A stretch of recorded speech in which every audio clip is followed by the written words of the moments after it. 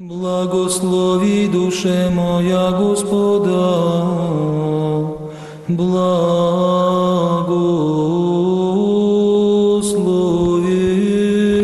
еси, Господи.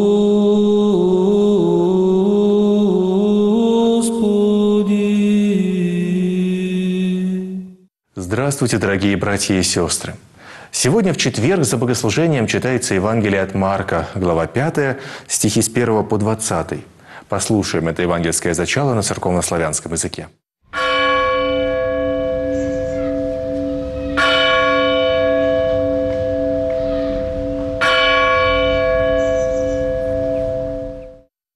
Время она, приди Иисус на он полморя во страну Гадаринскую, и излезший ему из корабля Абия средь его от гроб человек в дусе нечисте, и же жилище имяшего гробех, и не веригами никто же можаше его связати, за ним многожды путы и ужас железный связану сущу, и растерзатися от него ужем железным и путом сокрушатися, и никто же можаше его мучити, и выну ночь и день во гробех и в горах бе, вопия и толкися каменем. Узре же Иисуса издалече тече, поклонися Ему, и возопив глазом велим рече, что мне и тебе, Иисусе, Сыне Бога Вышнего, заклинаю тебя Богом, не мучи меня, глаголошеву Ему, изыди души нечистая человека, и вопрошаше Его, что ти есть имя, и отвеща глаголя легион имя мне, яко мнози смы, и молише Его много, да не послед их вне страны. Бежит у при горе стадо свиное велие посомо, и молише Его в себе се глаголюще, послины его свинья, давня в нидем, и повеле им Аби Иисус, и шедший доси нечисти в недошего свинья, и устремися стадо по брегу в море, бях уже яко две тысячи, и утопаху в море. Пасущие же свинья бежавшие, возвестиша в ограде и в селях, и изыдоше видите, что есть бывшее, и придоше ко Иисусове, и видишь обесновавшегося сидяща, и оболченно, и смысляща, имевшего легион, и убояшася, поведаше же им, видевшие, как об избесному и о свиньях, и начаше молить его отойти от предел их, и влезшу ему в корабль, моляше его бесновавайся, дабы был с ним. Иисус же не ему, но рече ему, иди в дом твой ко твоим, и возвести им, елико ти Господь сотвори и помиловатя. И иди и нача проповедати в десяти градях, елико сотвори ему Иисус, и все дивляхуся.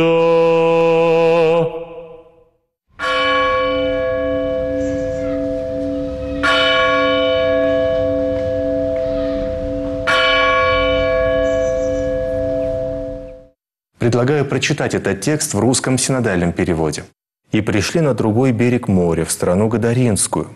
И когда вышел он из лодки, тотчас встретил его вышедший из гробов человек, одержимый нечистым духом. Он имел жилище в гробах, и никто не мог его связать даже цепями, потому что многократно он был скован оковами и цепями, но разрывал цепи и разбивал оковы, и никто не в силах был укротить его. Всегда, ночью и днем, в горах и гробах кричал он и бился о камни.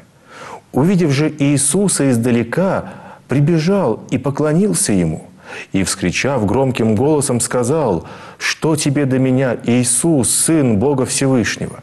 Заклинаю тебе Богом, не мучь меня». Ибо Иисус сказал ему, «Выйди, дух нечистый, из всего человека». И спросил его, «Как тебе имя?» И он сказал в ответ, «Легион имя мне, потому что нас много, и много просили его, чтобы не высылал их вон из страны той. Паслось же там при горе большое стадо свиней, И просили его все бесы, говоря, «Пошли нас в свиней, чтобы нам войти в них». И Иисус тотчас позволил им. И нечистые духи, выйдя, вошли в свиней, и устремилось стадо с крутизны в море, а их было около двух тысяч, и потонули в море. Пасущие же свиней побежали и рассказали в городе и в деревнях, и жители вышли посмотреть, что случилось. Приходят к Иисусу, видят, что бесновавшийся, в котором был легион, сидит и одет, и в здравом уме, и устрашились. Видевшие рассказали им о том, как это произошло с бесноватым, и о свиньях, и начали просить его, чтобы отошел от пределов их. Когда он вошел в лодку, бесновавшийся просил его, чтобы быть с ним, но Иисус не дозволил ему, а сказал, «Иди домой, к своим, и расскажи им, что сотворил с тобою Господь и как помиловал тебя». И пошел, и начал проповедовать в Десятиградии, что сотворил с ним Иисус, и все дивились. Продолжая свое дело проповеди Царства Божьего, Господь и его ученики прибыли в Гадаринскую страну, лежавшую на восточном берегу озера, названную так по имени находившегося в ней города Гадары, входившего в число городов Десятиграде. На берегу Господа встретил вышедший из гробов человек, одержимый нечистым духом, который сказал, «Что тебе до меня, Иисус, Сын Бога Всевышнего?» заклинаю тебя Богом, не мучь меня». На вопрос Христа «Как тебе имя?» Он ответил «Легион – имя мне, потому что нас много» указывая тем самым на обитание в этом человеке несметного количества нечистых духов, которые просили, чтобы Господь послал их в стадо свиней. Архиепископ Аверкий Таушев пишет – нам не настолько известна природа нечистых духов, чтобы понять, почему им необходимо обитать в живых существах. Но характерно то, что из всех живых существ они избрали самое нечистое, самое презренное в глазах иудеев. Лишь бы Господь не изгонял их из страны и не решал их тем самым возможности действовать в ней. Господь по своей милости исцеляет бесноватого, являя своим спутником, насколько велика трагедия этого человека, который боролся в самом себе с множеством бесов. Он очищает человека, изводя из него злых духов и повелевая им, по их же просьбе, войти в свиное стадо, которое тут же бросилось к обрыву и утонуло в море. Вопреки обычному запрещению разглашать о совершаемых им чудесах, Христос на этот раз, наоборот, повелел исцеленному «Иди домой к своим и расскажи им, что сотворил с тобой Господь и как помиловал тебя».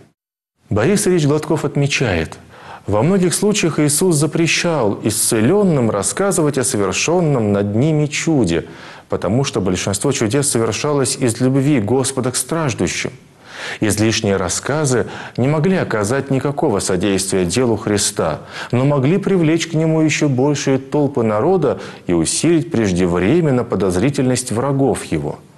Тут же нельзя было скрывать совершенное чудо, так как народ этой страны сразу не мог понять его, и потому необходимо было, чтобы об этом чуде проповедовал сам облагодетельствованный им. Строки сегодняшнего евангельского чтения, дорогие братья и сестры, свидетельствуют о величии, всемогуществе и власти Бога над бесами. Какими бы ни были бесы, как бы ни распространялось влияние дьявола в мире, тем, кто пребывает со Христом, нечего бояться. Господь всегда остается с теми, кто сохраняет Ему верность, живя смиренно и пребывая в послушании Его святой воле.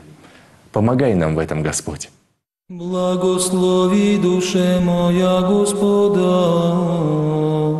благослови.